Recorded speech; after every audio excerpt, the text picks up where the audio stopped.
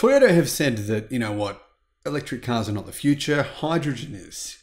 However, Toyota did just reveal, what was it, about six months ago, 21 different electric cars. Now, these were all concept cars. Top Gear made a very misleading video saying that the next Toyota MR2 was electric, but actually there is no plans from Toyota to make an electric MR2. But we've just seen Toyota's most recent EV design. They've patented this design and it's been a bit controversial. I mean, this is the future of what Toyota's electric cars will look like.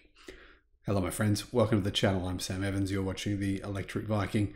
Great to see you. Thank you for tuning in. Toyota, their EVs so far, to be honest, haven't been that good. That's the truth. They've received fairly lukewarm, some would say negative reviews. Um, Toyota have actually provided some improvements to the BZ4X, right? Their EV that they sell worldwide. They do have a BZ3 in China. It's manufactured primarily by BYD, used the BYD platform, uses BYD batteries, but Toyota did say that they think BYD's batteries are not good enough. Weird, right? But then they went and used BYD's platform and their batteries. Anyhow, this new um, crossover SUV van, I don't know what you want to call it. Uh, to me, it looks like a box. I'd call it a box electric car, has been patented by Toyota. It's um, controversial. Some people think it looks like the future of Toyota driving. Um, very bland, very functional. Uh, some people think it looks like um, I don't know, like a sad version of the future, a dystopian version of the future.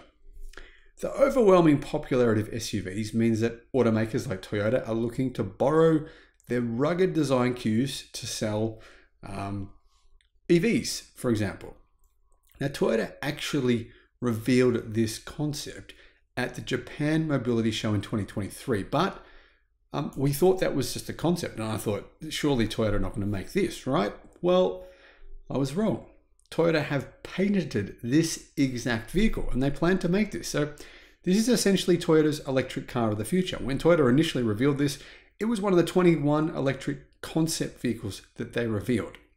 So this is going to be electric, but we don't know for sure if there will be a hydrogen version as well. Now, considering Toyota believe the future of uh, the motor car or the future of transportation is powered by hydrogen, and that by 2040 or the rest of the world will have figured that out as well, I would imagine they'd probably have a hydrogen version they're working on too. Now, of course, the fact that Toyota have actually filed this design with the patent office doesn't guarantee that Toyota will make this EV. But I'd suggest it's pretty damn likely because this is the only one of those 21 concepts that Toyota revealed that they've actually patented. So if they're going to make any of them, right, uh, you'd think the one that they patent is the one that they would manufacture. I believe this is Toyota's version of the future. And they're going to make this as an electric car. It's going to sell really badly. And Toyota will say, see, we told you no one wants EVs because it's not selling. That, I believe, is possibly going to be Toyota's strategy. Now, other car manufacturers have done this. BMW did this. They did this with the i3. BMW said back in 2021, no one wants EVs. We know they don't because no one's buying the i3. The sales were really poor. But the i3 was expensive, very, uh, very unusual car.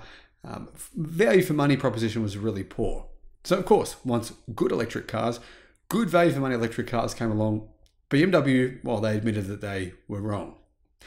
But it looks to me, in my opinion, Toyota plan on replicating BMW's strategy. But let me know what you think in the comments. Thanks for watching.